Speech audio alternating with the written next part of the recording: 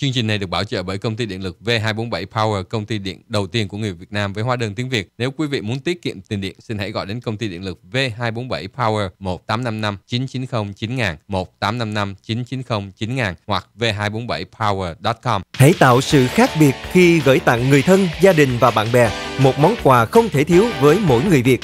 Đó chính là dầu vàng hiên tế Vinashop 1855 855 5888. Oyster Max Go, sản phẩm dành riêng cho phái mạnh, bổ thận, tráng dương, tăng cường khả năng nam giới, bảo vệ hạnh phúc gia đình.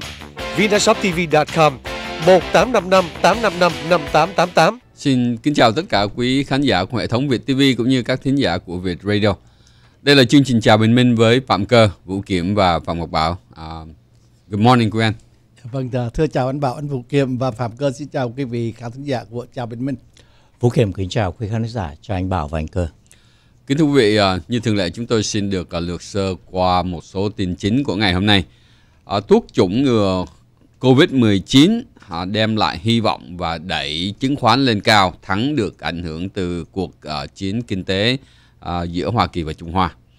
Travis County tại tiểu bang Texas chấp thuận giảm giá thuế để hút Tesla về mở cơ xưởng tại tiểu bang Texas. Công ty Apple thắng trận đầu tại Ái Nhĩ Lan trong cuộc chiến chống lại thuế ở châu Âu. Chính quyền Tổng thống Trump chính thức ngưng mọi chính sách kinh tế dễ dãi với Hồng Kông. Trung Hoa tuyên bố sẽ trả đũa. Tổng thống Trump không còn muốn muốn thương thuyết kinh tế với Trung Hoa, bác bỏ mọi tuyên bố chủ quyền của Trung Hoa trên đảo Hoàng Sa và Trường Sa. Một nhân viên chống đối tổ chức primary election hôm cuối tuần tại Hồng Kông đã từ chức vì sợ chính phủ Hồng Kông trả đũa. Tình hình coronavirus trên thế giới Tokyo báo động đỏ về việc tái bùng phát coronavirus. Theo tin của CNN thì Bộ Y tế Hoa Kỳ ngưng quyền của CDC báo cáo tình hình bệnh nhân, bệnh viện phải gửi chi tiết liên quan đến coronavirus về thẳng bộ thay vì về CDC tình hình coronavirus tại Hoa Kỳ. Thẩm phán tối cao pháp viện Greensburg lại nhập viện, lần này có thể đang bị nhiễm trùng. Chính quyền à, Tổng thống Trump đổi ý thôi trục xuất sinh viên khi các trường đại học phải cho sinh viên học online trong thời gian sắp đến. Columnist và editor của báo New York Times, bà Barry West, từ chức thôi không cộng tác với báo này. Ông Sessions thua tại Alabama trong cuộc primary runoff ông uh, huấn luyện viên uh, Tommy Tuberville thắng lớn với tỷ số 63 trên 37 trong uh, khoảng 35% đã được uh, số phiếu đã được báo cáo. Robo bắt đầu làm việc bán hàng tại tiệm tạp hóa ở Nhật Bản từ đầu tháng 8 năm nay. Tin Việt Nam thì 58 người được đào tạo để lái tàu Metro số 1 và Bộ Giao thông Việt Nam cho biết mở lại các chuyến bay thương mại quốc tế bắt đầu từ tháng 8. Kính thưa quý khán thính giả, à, chúng tôi xin được đi vào phần chi tiết thì à, thuốc chủng ngừa à, đã đem lại hy vọng và đẩy chứng khoán lên cao. Chứng khoán của Hoa Kỳ cũng như khắp nơi trên thế giới à, lên xuống tụt lên, à, đi lên và đi xuống là bởi vì ảnh hưởng từ à, cuộc chiến kinh tế với Trung Hoa. Tuy nhiên à, hiện tại bây giờ thì à, có cái sự à, thông báo của Ờ, một công ty ờ, Moderna. Họ cho biết là họ có thể đã họ sẽ thử nghiệm vào cái giai đoạn 3 à, ờ, bắt đầu vào ngày 21 tây tháng 7 giai đoạn 1 của họ thì họ đã bắt đầu vào ngày 16 tây tháng 3 thì cái giai đoạn 1 á mới đầu thì có 45 người thử về cái sự an toàn của thuốc.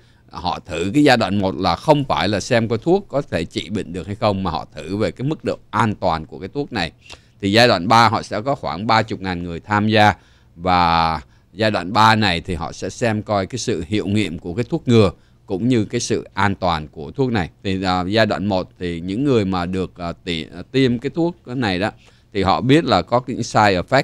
Cái side effect là nó làm cho người ta mệt mỏi, nhức đầu và nóng lạnh. Thì uh, đó là giai đoạn 1 nhưng mà dù sao đi nữa giai đoạn 1 đã qua và giai đoạn 2 thì bây giờ người ta thấy là có có vẻ là cái thuốc này có thể thành công. Thì uh, họ hy vọng là họ sẽ tới năm 2021 thì họ sẽ có khoảng 500 triệu liều thuốc. Không có nói tháng mấy của 2021 nhưng mà họ tính là khoảng 2021 thì thuốc sẽ được tung ra. À, đó là những cái kết quả đưa tới cái lý do là cổ phiếu của công ty dược Moderna tăng. Như anh Bảo trình bày đó, phải chờ sau cái cuộc thử nghiệm gọi là lớn 30.000 người vào ngày 27 tháng 7 này thì mới hoàn tất. Trong cái bản tin nói rõ tức là các cuộc thử nghiệm cho thấy có những cái dấu hiệu hiệu quả tốt nhưng vẫn chưa hoàn tất phải chờ sau cuộc thử nghiệm cuối tức là vào ngày 27 tháng 3.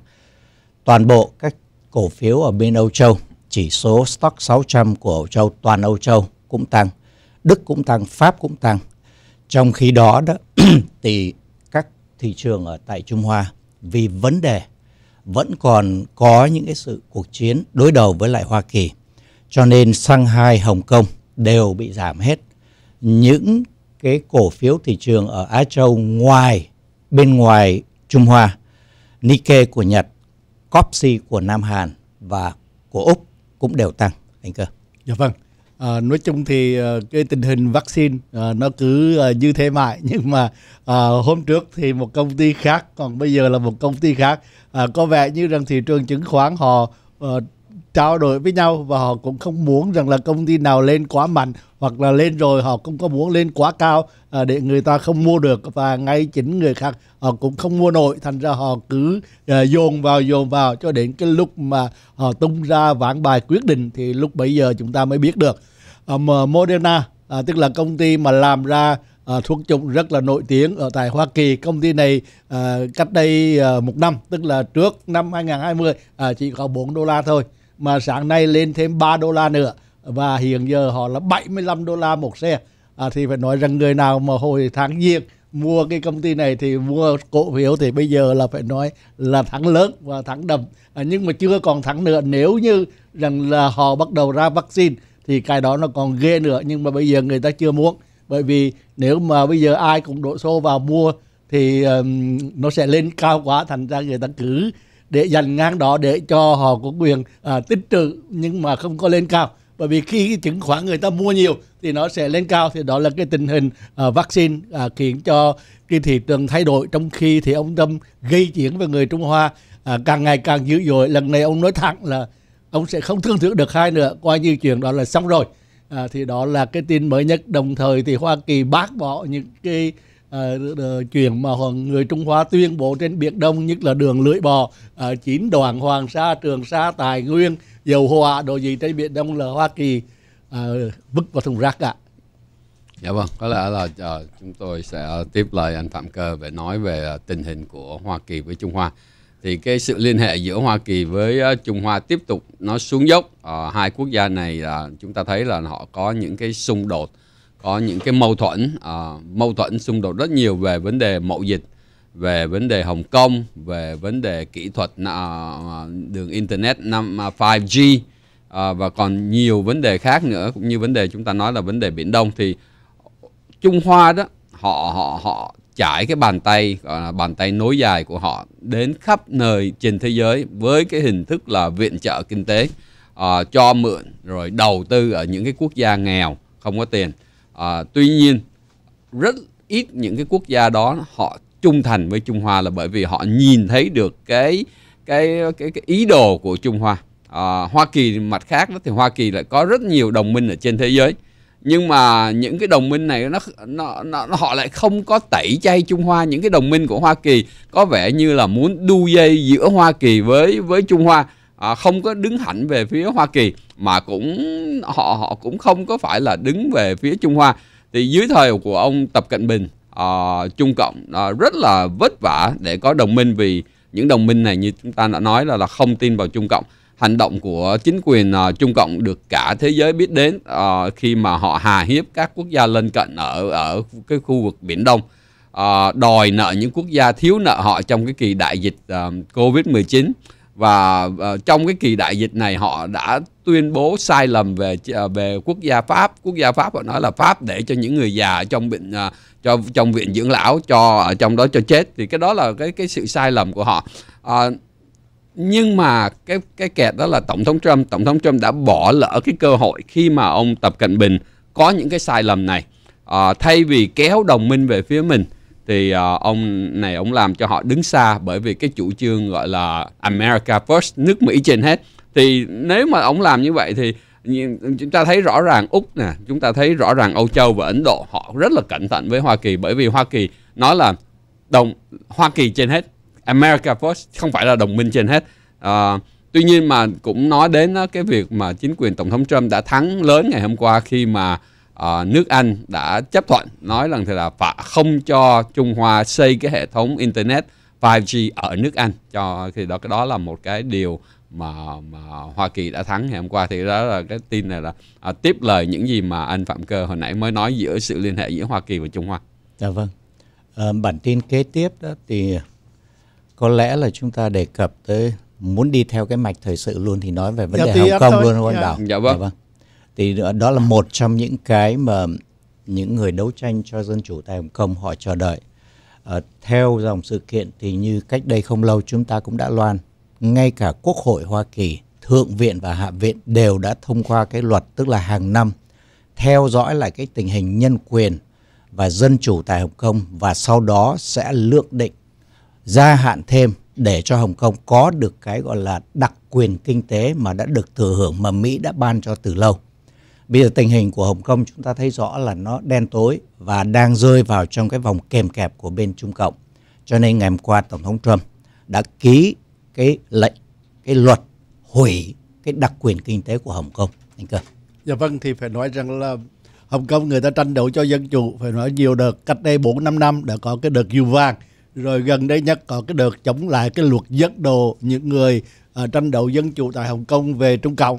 À, tuy nhiên thì tất cả những cái đó người ờ, uh, chính quyền Trung Cộng chỉ làm một cuộc biểu quyết tại quốc hội của họ thôi. Ra cái đạo luật an ninh và áp dụng lên Hồng Kông là mọi việc tan tan nát không còn gì cả. Và ngay bây giờ đây à, những người chủ trương ở tại Hồng Kông rất là cẩn thận bởi vì họ biết rằng chỉ có sơ sẩy thôi là Trung Cộng sẽ vín vào cái đạo luật tại Hồng Kông và đưa họ áp đặt một cái án tù một cách dễ dàng uh, người cộng sản hay có cái thói quen là sử dụng luật pháp khi nào cũng cũng nói là họ là có luật pháp và hành xử theo luật pháp. Tuy nhiên thì họ nói như vậy nhưng mà khi họ làm thì họ làm theo luật rừng. Thì đó là cái chuyện của người cộng sản thì ai cũng thấy là hồng kông cho nên ông tâm à, ờ, bây giờ đây thì với cái sự góp sức của ông navarro và những cái người mà thành phần nhiều hâu ở trong đất nước ở Hoa Kỳ trong cái chính phủ của ông thì ông à, bây giờ ông tuyên bố mạnh nhưng mà ông Tâm là cái người bất nhất hay nói trước. Thành ra mình không biết rằng là cái chuyện đó là ông nói như vậy là ông nói là chỉ có giá trị trong ngày hôm nay hay là giá trị về sau nữa thì chúng ta cũng chưa chắc. Thì bây giờ là ông nói là ông không có muốn thương thuyết kinh tế với Trung Hoa nữa. Và ông đã bác bỏ tất cả mọi chủ quyền mà Trung Hoa tuyên bố là có chủ quyền trên hai đảo quần đảo Trường Sa và Hoàng Sa thì ờ, ông nói là cái cái kỳ thương thuyết về chiến tranh mậu dịch ờ, cái kỳ thương thuyết về đợt thứ nhất á, thì nó rất là tốt đẹp. Tuy nhiên cái mực nó chưa khô thì à, Trung à, Trung Cộng đã tấn công chúng ta với những cái con virus. Bây giờ ông ngưng ông ông ông không không không tiếp tục nữa. Dạ vâng, cái vấn đề đặc khu Hồng Kông đó nó là một trong những cái thủ đô tài chính ở bên khu vực Á Châu. Cái lượng tiền mà trao đổi về cái kỹ nghệ ngân hàng cũng như là tài chính giữa Hồng Kông và Hoa Kỳ đã ước tính là trên 26 tỷ Mỹ Kim hàng năm. Đây là cái dữ liệu của Bộ Thống kê Dân số của Hoa Kỳ đưa ra.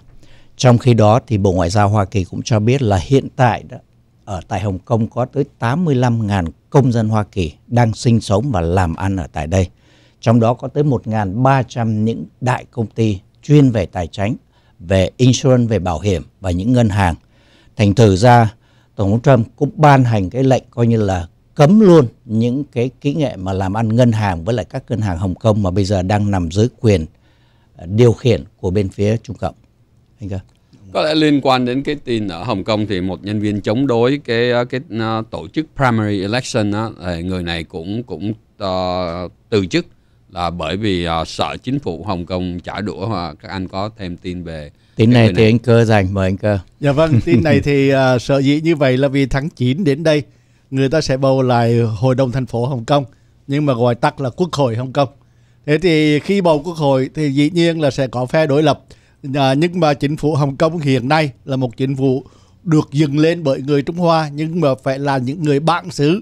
À, trong những người bạn xứ đó thì họ vẫn có một cái tấm lòng à, với Hồng Kông. Cho nên một mặt là bị áp lực của Trung Cộng để mà làm những cái chuyện rất là khó khăn cho phe đối lập nhưng mà họ cũng tạo ra một cái uh, làm ngơ uh, để cho những cái người mà đồng hương của họ uh, có cái tiếng nói. Uh, đó là việc chủ nhật thứ bảy vừa rồi. Mặc dầu rằng họ phản đối và cho rằng bất hợp pháp cuộc bầu cử primary đây là cuộc bầu cử của phe đối lập. Phe đối lập lập ra những cái thùng phiếu uh, lập ra uh, bầu cử trên mạng để mà bầu cử những người đối lập cử người đại diện tham gia vào cái cuộc bầu cử tháng 9 đến đây vào quốc hội của Hồng Kông. À, và họ làm ngơ. Nhưng mà người dân vẫn sợ cho nên à, có tới mấy trường còn tới là rất là nhiều người có tới 6 triệu người à, Hồng Kông à, tham gia vào cái cuộc bỏ phiếu online. Và chỉ có hai chục ngàn người à, hay là mấy ngàn người đó thôi sáu ngàn người thì phải. Họ đi tham gia cuộc cái bỏ phiếu ở ngay à, nghĩa là in person tức là họ đi tới phòng phiếu à, và dĩ nhiên chính phủ Hồng Kông nói rằng hai cái cuộc bỏ phiếu đó đều là giả mạo và đều là để bị truy tố. Vì vậy cho nên anh Bảo loan tin rằng cái người mà tổ chức cuộc bỏ phiếu đó phải tuyên bố rằng là không cái đó là tôi có lỗi. Thành ra tôi rút lui ra khỏi hội đồng. À, nhưng mà 16 người đã được cử ra và toàn là những người tai to mặt lớn trong các cái cuộc tranh đấu vừa qua. Thì đó là cái mục đích của cái sự giành giật nhau về vấn đề uh, dân chủ như thế nào ở trên đất Hồng Kông người ta hai bên đều dùng những cái ngôn ngữ và dùng cái chuyện thực tế để mà giành giật cái ảnh hưởng ờ, đối với dân chúng. À, ờ, dạ vâng. Chúng ta biết là công ty uh, Tesla uh, thì họ có một cái cơ xưởng uh, của họ ở bên California thì bây giờ một cơ xưởng lắp ráp chế tạo xe không có đủ. Do đó Tesla có ý định là sẽ có một cái cơ xưởng khác nữa cơ sở này họ sẽ làm cái cyber uh, cyber truck pickup. Uh, thì uh, họ có những cái tiểu bang những cái nơi mà họ nhắm ngắm nghía tới. Thì bây giờ những cái nơi này họ đều muốn kéo Tesla về. Uh, hiện tại bây giờ uh, cái Travis County là ở khu Austin Texas của tiểu bang Texas đó, thì uh, hội đồng uh, thành phố của của uh, Tesla của của Travis County này uh, đã chấp thuận giảm thuế để kéo Tesla về mở cơ xưởng ở bên tiểu bang Texas thì ờ, cái mồi mà kéo về ngon nhất là miễn thuế, giảm thuế. Thuế có nhiều loại thuế, thuế thổ chặt là property tax là một trong những cái thuế mà họ nói là họ có thể giảm, giảm tới gọi là bốn mươi mấy triệu đô la à, giảm thuế cho Tesla thì đây là cái việc làm của của Travis County ở Texas. Đã 46.4 triệu đô la coi như là thuế nhà đất, thuế đất đó nhưng mà trong tổng cộng đó thì có tới 70% cái sell tax đây là cái thuế rất là quan trọng và rất là vô cùng là cái quyết định chiến lược của quận Travis County. Nếu không khéo đó, thì nó bị rơi vào trường hợp như là Amazon đã từng đầu tư và đã từng chọn New York để mà làm cái headquarter thứ hai.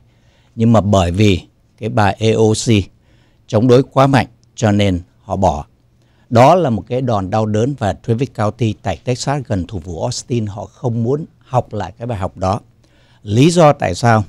Austin đang cạnh tranh với lại Tulsa, Oklahoma là hai cái địa điểm cuối cùng mà ông Elon Musk Tesla muốn chọn để mà làm một cái nhà máy, cái hãng sản xuất cái loại xe truck coi như là kinh khủng nhất hiện tại. Cho nên không thể nào bỏ lỡ cái cơ hội này, cái xe truck gọi là Cybertruck. Nếu mọi chuyện suôn sẻ thì sẽ tạo ra 5.000 công ăn việc làm full time cho những người dân ở tại đây. Và lương tối thiểu đó 47.000 đô la một năm. Một nửa đều là những người dân ở tại địa phương của quận Travis County. Anh cơ. À, dạ vâng, ờ, thì phải nhắc lại một chuyện về Amazon và dạ. New York. Amazon đã chọn New York làm cái headquarter thứ hai dạ vâng. rất là lớn họ chọn rồi chứ không phải họ không chọn họ chọn xong họ thuê building họ làm đủ thứ nhưng mà cô AOC cô bảo rằng là à, cái đó cũng là một cái thủ đoạn của giới tư bản mà thôi. À, cho nên là à, à, những cái điều kiện mà City đưa ra như vậy là chưa đủ. Phải đưa thêm nữa và à, kiểm soát cho chặt Amazon. Amazon nghe như vậy à, họ mới bắt đầu bỏ bước chân đầu tiên vào. Họ rút lui ra ngay lập tức họ nói rằng là họ không có muốn những cái chuyện như vậy. Bởi vì làm ăn thì làm ăn đâu ra đó chứ không có quyền nói những cái chuyện về xã hội chủ nghĩa hay là về quyền lợi của dân nghèo hay là của dân lao động vân vân là cái chuyện họ rất là sợ những cái chuyện đó. Cho nên họ rút lui ra ngay lập tức. Và dĩ nhiên cái điều này không thể áp dụng được à, theo ý tôi thì không thể áp dụng được cho Austin. Bởi vì Austin là một cái uh, quốc uh, một cái thành phố mà nơi đó hay là Travis County thì họ đưa ra cái đề nghị rất là rõ ràng và dân chúng ở đây uh, không phải là cái dân chúng mà uh, có những người như là AOC thành ra cho, cho chuyện chuyện đó uh, khó mà có thể xảy ra ở tại nhưng tuy nhiên có thể tuân xa họ đưa ra những cái đề nghị uh, béo bở hơn thì cái Để đó mình cũng chưa biết Đúng. dạ. Dạ vâng. nó nó ăn thua tất cả là là nơi nào có lợi nhiều hơn Dạ lợi vâng. đây có nghĩa là Chắc lợi về mà. tư bản mà chỗ nào có Bây giờ lợi anh cứ nghĩ đi công lao mồ hôi nước mắt anh bỏ ra một đồng. Anh bị đánh thuế 40 sen anh mang về có 60 sen trong 60 sen đó, anh phải chi cho nhân viên chi này, chi kia. Cái lợi nó nằm ở trước mắt, cho họ phải tính toán kỹ, đúng không? Dạ vâng. Chúng ta nói đến uh, thuế chúng ta nói đến lợi Ờ, ngày hôm nay ta- là ngày cuối của phải đóng thuế 15 là phải Ờ, không? hôm nay ngày gia 15 hạn. thế tháng ngày, bảy. ngày, Dạ. ngày, ngày, Dạ. Quý vị nào mà Ngày khai chưa khai thuế thì hôm nay là quý vị phải gửi thuế đi và quý vị cũng phải uh, đóng tiền thuế vào ngày hôm nay. Dạ. Nhưng mà nói thuế thì chúng ta cũng muốn nói đến uh, công ty Apple. Apple đã thắng ở bên Ái Nhĩ Lan trong cái cuộc chiến chống lại thuế ở bên Âu Châu. Thì uh, coi như là bên Âu Châu họ họ đã ra lệnh đó là Apple không có phải trả khoảng những cái thuế đó khoảng tới uh, 15 tỷ đô la đó là một con số uh, rất là lớn rất dạ là vâng. kinh khủng. Dạ. Thì đây là một cái tát rất đau đối với lại cái gọi là Ủy ban Thương mại Âu Châu. Trong khi mà Apple thắng đó thì hai công ty còn lại đang bị Liên hiệp Âu Châu cũng muốn siết đánh thuế cao là IKEA và Nike muốn đặt tổng hành dinh ở tại Netherlands tức là Hòa Lan và ở Hamptonski ở tại Luxembourg. Thành thử ra cái chiến thắng của Apple là một cái chiến thắng vô cùng là lớn anh cơ. Vâng, à, thưa quý vị, năm 2014, à, Ái Nhĩ Lan nói rằng là Apple dời à, à, tổng hành dinh về đây đi, thuế 0.005%, tức là coi như không có gì. Dạ. Dạ. Thì không có gì nhưng mà ờ, tiền bạc thì cứ chất chất đóng thì nó thành ra có gì? Bởi vì tiền tỷ mà tỷ này tỷ kia nó thành ra có gì ngay lập tức. À, nhưng mà cái số tiền đó Apple rất là thích cho nên Apple đã dời công ty về đó rồi. Dời một phần công ty về đó để mà làm trụ sở để mà anh bảo biết rồi khi mà trụ sở ở đó thì họ khai thuế bên đó thay vì khai thuế tại Hoa Kỳ. Thì Hoa Kỳ cũng thua một cái keo đó mà chỉ phải chịu thôi. Ờ, nhưng mà sau đó thì Liên Âu họ không chịu và họ đến 4 năm sau tức là 2 năm sau họ kiện Apple và họ buộc Apple phải trả cái tiền thuế đó là lên tới uh, mấy chục uh, 15 15 tỷ đô la. Thì Apple kiện lại nữa. Apple không có đồng ý bảo rằng là họ làm việc đúng luật pháp họ theo cái thủ tục của Ái Nhĩ Lan họ làm thôi thì cái chuyện đó là chuyện của chính quyền Ái Nhĩ Lan chứ không phải chuyện của Apple. À, và bây giờ đây thì à, Apple thắng. À, và Apple thắng thì khỏi phải trả số tiền bách tắc tức là cái số tiền thuế mà tính lui từ năm 2014 cho tới bây giờ thì Apple thắng thì đây là một trong những cái ví dụ mà người ta thấy rằng là hai công ty lớn nữa là IKEA với lại là Nike là sẽ bị những cái trường hợp tương tự tại Hoa Lan. Khi mà họ, Hoa Lan cũng đưa họ cái số thuế rất là nhẹ để mà họ dời bạn doanh về. Thì dĩ nhiên ăn ít thì nó lâu, ăn ít nhưng mà cái số tiền hàng tỷ thì nó cũng là có lời đối với mấy cái nước nhỏ ở bên đó. Dạ. Tình hình coronavirus ở trên thế giới, hiện tại bây giờ trên thế giới đã có 13 triệu 471 ngàn người nhiễm à, con số người chết là 581 ngàn người à, con số người hồi phục là 7 triệu 866 ngàn à, chúng ta muốn nói đến là cái cái daily new case mỗi mỗi ngày và cái con số chết mỗi ngày thì sau những ngày nó giảm thì bây giờ nó lại tăng lại Đã. Không dám nói là tình hình ờ, đen tối nhưng mà u ám.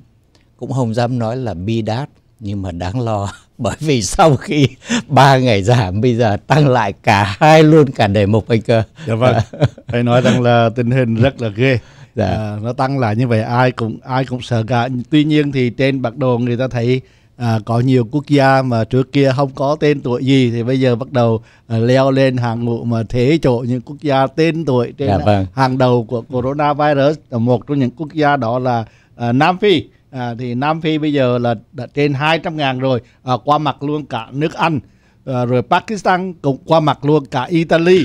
À, nói chung thì tình hình Bangladesh là cũng đứng sát dưới Đức rồi. À, tuần tuần sau hay hai ngày nữa nó sẽ qua mặt nước Đức luôn. À, thì đó là những gì mà người ta đang lo ngại. Nói chung thì tình hình thì rất là đáng lo ngại như vậy. Nhưng mà con số chết đó, thì phải nói rằng là bởi vì cái vấn đề mà người số người chết gia tăng mỗi ngày đó thì nó ở trong cái vòng hai của cái biểu đồ tức là cái đường parabol khi nó đi xuống cho nên nó có gia tăng. Nhưng mà nó so với ngày xưa thì không đáng vào đâu. À, cho nên những cái quốc gia mà cái con số người chết nó thấp ví dụ như Đức chẳng hạn thì bây giờ nó vẫn còn nằm ở đó hoài. Và mọi người kia thì cũng tăng nhưng mà không qua mặt được cái số người chết. Cái số người chết nó vẫn là rất là thấp. Thành ra nói chung thì hiện hiện tại cái con số người chết trên thế giới là phải nói rằng là nó tương đối rằng là nó ít hơn ngày xưa nhiều bởi vì người ta có cái kinh nghiệm uh, chữa coronavirus nhiều hơn. Uh, với là người ta khám phá ra nó sớm hơn. Và vì vậy cho nên cái tình hình uh, tương đối rằng là lây nhiễm gia tăng có nhưng mà cái số người chết thì phải nói rằng uh, không có nhiều như người ta sợ. Um, cái khu vực ở Phi Châu đó bây giờ mới là đáng lo ngại ngay cả tổ chức y tế thế giới và ngay cả các giới chức y tế của Hoa Kỳ cũng đang rất là lo lắng.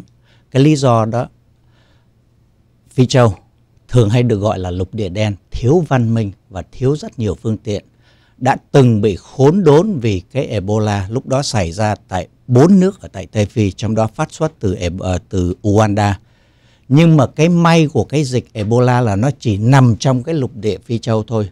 Cho nên lúc đó cả thế giới các nước văn minh Tây phương đều bắt tay nhau để mà cứu cho Tây Phi. Bây giờ coronavirus cả thế giới các nước Tây phương cũng đều đang bệnh. Cho nên cái nguồn lực đó nó sẽ bị yếu đi và đó là cái điều mà người ta dự phóng trong tương lai họ rất là lo sợ. Dạ, dạ vâng, bên uh, Nhật thì Tokyo họ đang uh, báo động đỏ về cái việc bùng phát uh, coronavirus Ờ, người ta nói đến rất nhiều là cái việc mà khi mà mình bị bệnh rồi thì mình có bị tái phát nữa hay không? Rồi người ta nói là khi mà mình kiểm soát được rồi, con số nó đi xuống rồi thì nó có đi lên lại hay không? Thì cái đó là cái việc mà nếu mà nó đi xuống là việc tốt, nhưng mà nó không phải là xuống hẳn, mà chấm dứt hết tất cả. Ở Vũ Hán hồi xưa người ta chặn lại được bởi vì đó là một cái quốc gia cộng sản uh, Vũ Hán là một thành phố của của một quốc gia cộng sản của của uh, Trung Quốc uh, Trung Trung Hoa. Thành ra là chúng ta thấy là nếu mà họ nói là phong tỏa nội bất xuất ngoại bất nhập thì cái đó nó rõ ràng là phong tỏa. Phong tỏa cho đến khi nào mà không còn số người bệnh nữa thì lúc đó họ mới mở ra. Còn những cái nước Tây phương thì cái chuyện phong tỏa như là một nước uh, cộng sản như một thành phố của Vũ Hán thì nó rất là khó. Nó nó khó nhiều lắm à, do đó là bây giờ Tokyo họ báo động đỏ là bởi vì con số nó đi xuống đi xuống nhưng mà không cẩn thận. Rồi bây giờ nó lại đi lên. Dạ. Ở tại tình hình tại Nhật đó nó cũng có liên quan tới hai cái căn cứ của quân lực Hoa Kỳ đóng tại đó cái Futena của lực lượng thủy quân lục chiến và cái Henson của lực lượng không quân và hải quân có hai cái chiến hạm đậu tại đó. Mỗi ngày đều có thêm một số những quân nhân bị phát hiện dương tính cho nên ở tại riêng tỉnh Okinawa đó cũng không xa Tokyo là bao nhiêu cũng đang cho biết là cái tình trạng vô cùng là phải ờ, gọi là là là, là đáng gây chú ý và cảnh cáo anh cơ. Dạ vâng. À, tuy nhiên thì Tokyo à, gia tăng nhiều người lo sợ nhưng mà à, những cái người mà những cái người gia tăng đó đó là những cái người không phải rằng là trước kia họ bị bệnh rồi họ tái bị bệnh mà là những người chưa bị bệnh bao giờ. À, cho nên cái con coronavirus nó chỉ đến những cái người nào mà chưa bệnh. Cho nên à, cái lập trường của thủy điện tức là lập trường để mà tạo ra cái vấn đề kêu rằng là miễn nhiễm cộng đồng tức là miễn nhiễm với một cái con số những người bị khi nào lên đến sáu bảy chục phần trăm thì lúc bây giờ nó không có lây lan nữa. Và ở bên thủy điện bây giờ người ta nhấn mạnh rằng là ờ, ở vật đang còn lây lan bởi vì cái miễn nhiễm cộng đồng họ mặc dù họ thả cho tự do đi từ đầu cơn dịch cho tới bây giờ nó vẫn chưa tới 60% cho nên họ vẫn đang còn à, bị lây. Và Tokyo bị lây là một cái điều đương nhiên à, chỉ vì họ những người đó là những người chưa bị lây bao giờ. Thì bây giờ đây à, có những người à, sóc chuồng à, đi ra đụng họ à, thì lây của họ đó là cái điều đương nhiên. Cho nên nếu mà cứ đóng cửa mãi thì cũng sẽ có ngày nó lây. Vũ Hán sợ dĩ mà không lây được nữa là tại vì sau cái thời gian đóng cửa họ lây gần hết rồi trong đó không còn gì nữa. Thành ra không còn cái miễn nhiễm cái, cái miễn nhiễm cộng đồng nó có rồi. Bắc Kinh chưa bao giờ có cho nên bây giờ là bắt đầu có. Và vì vậy cho nên khi có người ta phải chần lại. Và chần lại mà họ không có loan báo lây lan. Nhưng mà Nam Hàn Đức Nhật Bản Tây Ban Nha là đều có lây lan mới hết. Là những cái chỗ đó là những nơi mà từ xưa chưa có lây lan thì bây giờ nó bắt đầu lây lan. Đó là những gì đang xảy ra tại các cái nước mà có dịch. Như nước Ý là lây lan một trận tàn bạo thế kỷ. Ai cũng thấy rõ ràng. New York ai cũng thấy rõ ràng thì bây giờ không có lây lan nữa. Dầu cho anh làm cỡ nào nó cũng không lây bởi vì cái con số còn lại nó ít quá và nó được phong tỏa bởi cái hàng rào những người dương tình xung quanh. Thành ra bây giờ nó không lây nữa. Thì đó là cái điều mà uh, người nhiều người còn tin tưởng trong đó có tôi. Còn đúng hay sai thì lúc dạ, đó đúng hay sai tôi không biết nhưng mà trong đó là có tôi. Tôi tin như vậy. Dạ, vâng. dạ.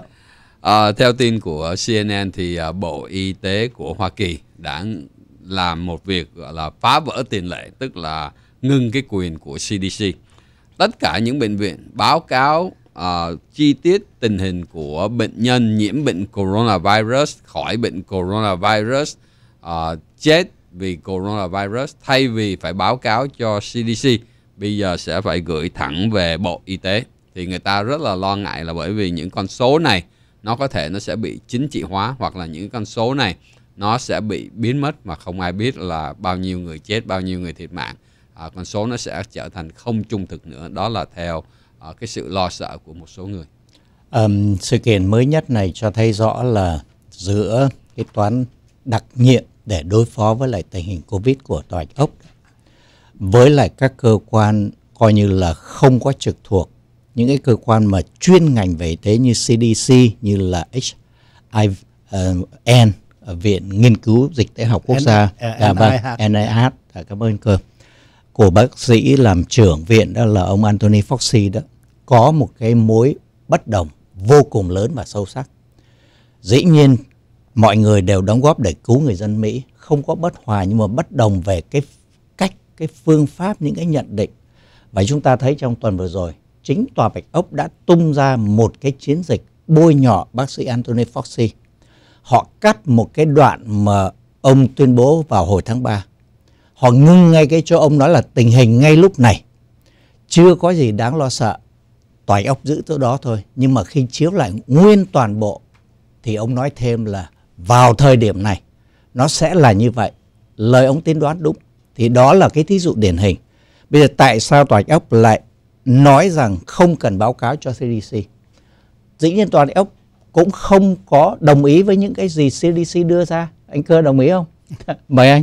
À, dạ vâng thì uh, à, CDC là bị tòa bạch ốc coi như rằng là New York Times đó. Washington Post thành ra cứ đăng những cái tin uh, gây bất lợi hoặc là uh, có những cái con số mà cứ nhắm mắt theo cái báo cáo ở dưới đưa lên. Cộng lại là công bố thì uh, tòa bạch ốc họ không chịu. Họ nói rằng là con số thì là phải kiểm chứng để nó dĩ nhiên là những lý luận đưa ra. Thì như anh bảo nói rất là đúng tức là tòa bạch ốc muốn kiểm soát con số đó muốn cho người dân biết ngang đâu thôi không có nên biết quá nhiều à, à. gây hoang mang lo sợ. Thì đó là cái lập trường uh, của bạch công hiện nay.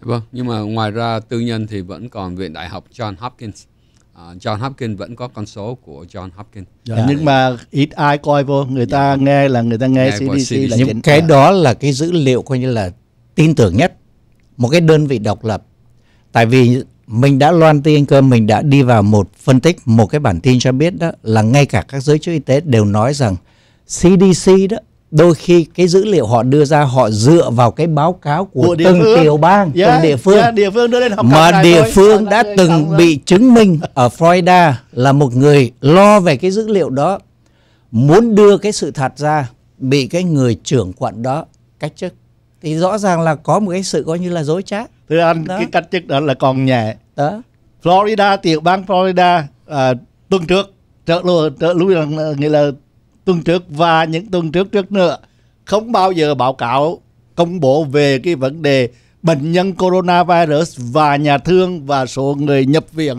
coronavirus tại nhà thương không có bao giờ có cả uh, dư luận người ta cằn nhằn mãi cho tới ngày hôm qua hôm kia gì đó thì họ mới ra cái thông báo rằng kể từ nay thì họ sẽ công bố cái con số người nhập viện và những người lành bệnh hoặc là những người đang nằm viện nằm cấp cứu của coronavirus thì đó là cái hiện tình Florida. Yeah. Dạ.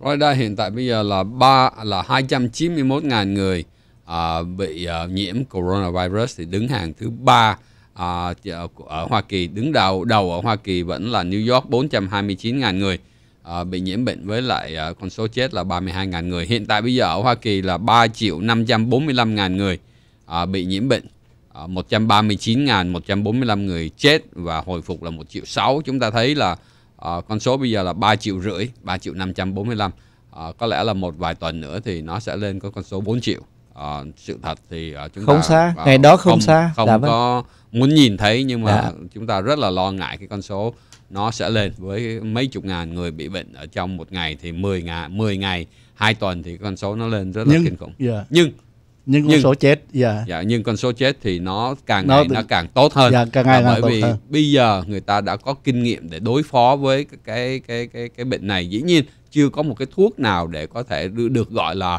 là tốt để Là chính thức, lừa dạ. được là chính thức. FDA nói là nếu mà bất cứ cái thuốc nào mà muốn được FDA công nhận nó nó phải có hiệu quả trên 50% tức là chữa 10 người phải có 6 người ờ, là được thoát được á thì FDA họ mới approve Ờ, 150 loại thuốc đang được nghiên cứu nhưng mà chưa có loại nào ra hết. Có điều là người ta chữa bệnh à, tốt hơn. À, cái người chết nó rõ ràng nó thấp hơn. Thành ra là đó là một cái cái cái tin mừng. À, một trong những tin mừng nữa là thống kê đưa ra cái dữ liệu chính xác cái đợt thứ nhì mà tăng mỗi ngày ghê gớm như vậy đó đa số là thuộc cái thành phần trẻ. Thành phần trẻ họ khỏe hơn họ có vô nhà thương nhưng họ qua khỏi họ không bị chết như là cái đợt đầu đa số là các cụ già cái điều đó chứng minh hẳn hỏi là cái đợt thứ hai những người trẻ ở cái độ tuổi từ 39 cho tới dưới 50 hoặc là từ 20 cho tới 39 rất là bị nhiều cho nên đều khuyến khích đó, đều khuyến cáo là các bạn đừng đi những cái party lớn, đừng có chơi ngông. Mặc dù là có những bạn có thể thoát qua được nhưng mà cũng có cái tỷ lệ chết nhưng mà nó ít hơn anh cơ. Thưa anh, anh biết tại sao bây giờ người già không có chết nhiều? Chết hết rồi. Được. một phần là họ đã chết hết rồi phần thứ hai là các nhà dưỡng lão bây giờ họ canh kỵ lắm họ Đó. không có để cho ờ, những cái người vô ra với nhất là bây giờ cái chương trình à, kêu là mang mặt nạ với là chương trình rửa tay thì nó cũng làm cho người ta giúp đỡ được Dạ. cái vấn đề ngăn ngừa nhiều cho nên các cái nhà dưỡng lão bây giờ phải nói họ đề phòng kỹ và vì vậy cho nên cái số người già nó ít đi ít chết đi số người già mà bị expose bởi con virus thì nó ít đi cho nên cái số người trẻ vô thế chỗ thì đó là cái tình hình à, tại các cái buổi nhậu tại các cái quán bar rượu Dạ vâng. đêm Cho nên bị đóng là đúng. Dạ. vâng à, tất cả những gì chúng ta nói đây là chúng ta nói về nói chung tức là tình hình tổng quát general bất cứ cái tuổi già hay tuổi trẻ nào nó cũng có những cái trường hợp ngoại lệ Đúng. tức là những cái người già bệnh đa số là chết nhưng mà có một số vẫn sống những người trẻ đa số là sống nhưng mà có một số vẫn Vẫn- chết vẫn chết. thành ra là Dạ. khi mà nói là chúng ta nói chung Dạ. Và nữa là những người nào nói là ồ đâu có phải đâu tại vì chúng tôi thấy cái này ờ, cái đó là những cái trường hợp ngoại Dạ. lệ nhưng Dạ.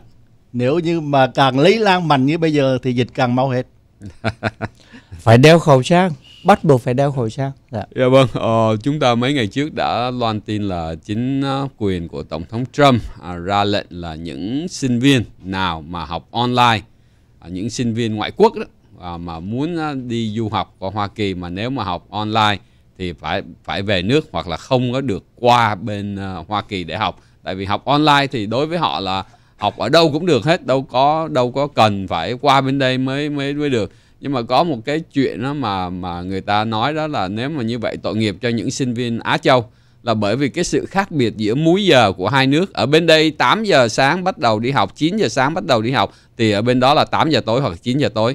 Có những cái lớp 12 giờ trưa 2 giờ à, 2 giờ chiều thì ở bên đó là 2 giờ sáng họ bắt đầu phải họ đi học. Họ học từ 2 giờ sáng cho đến 7 giờ 7 giờ sáng. Thì như vậy nó rất là cực khổ cho những cái sinh viên đó.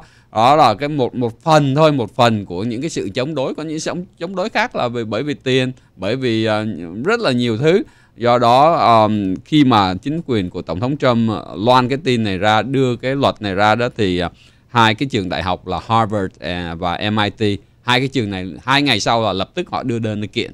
Cái điều đáng nói ở đây đó là ngày hôm thứ hai vừa rồi đó là có 12 công ty uh, khi mà có một cái vụ kiện đó, thì có những cái công ty lớn ở ngoài họ có quyền họ nhảy vào và họ nói chứ tôi ủng hộ cái đơn kiện này hoặc là tôi chống đối cái đơn kiện này. Ừ thì 12 đại công ty Hoa Kỳ giống như là Google, Facebook, Twitter nó nhảy vô ủng hộ Harvard nói là cái sự mà cấm sinh viên qua bên đây là sự vô lý rồi 15 uh, dân biểu của đảng Cộng Hòa đã viết thư và đồng ký tên đưa đến Tổng thống Trump và nói là yêu cầu rút lại cái lệnh này.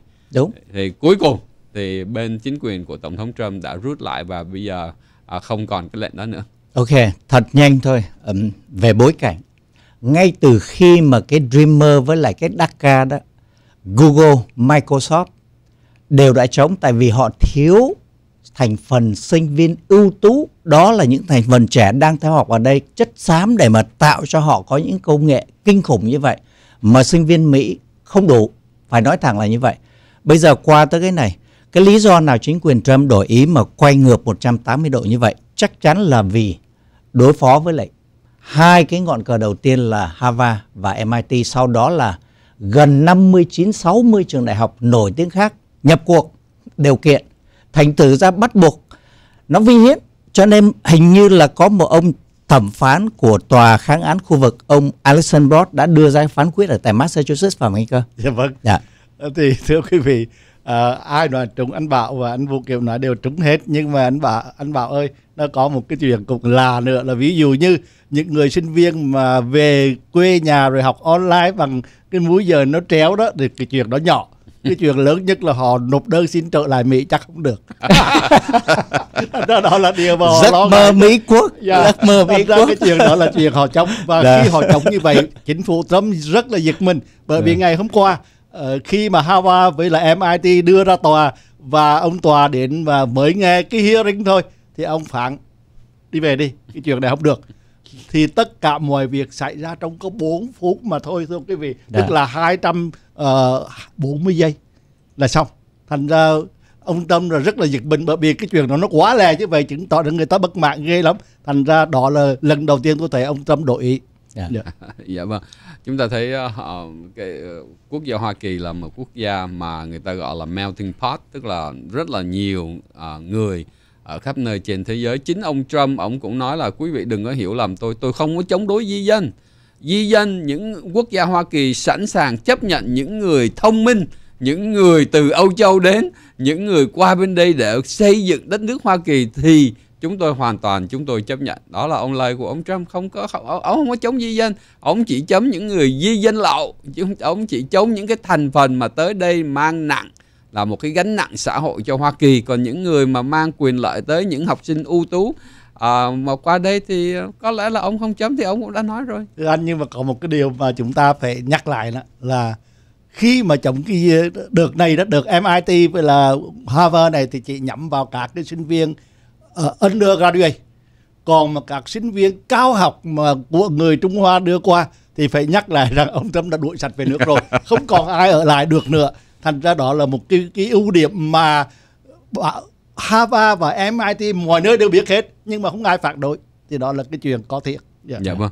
Ờ, một cái tin về cái cuộc bầu cử sơ bộ tin nó cũng quan trọng cho cái cuộc bầu cử vào tháng 11 ờ, sắp tới. Thì ông ờ, ở tiểu bang Alabama ông Sessions ông đã thua ở bên Alabama. Cái này nó rất là quan trọng bởi vì người ta có thể đoán được Alabama tổng thống Trump sẽ thắng hay không là bởi vì ông Jeff uh, Sessions trước đó đã là bộ trưởng bộ tư pháp uh, của Hoa Kỳ do ông chính ông Trump uh, handpick nhưng mà rồi sau đó có bất đồng ý kiến thành ra ông Trump ông để cho ông này ra đi và ông ờ, ông chọn một người khác. đuổi đi đi Đuổi đi thì kêu mình- mình- ra đi đi mà không chịu đi. mình nói lịch Dạ. sự đó.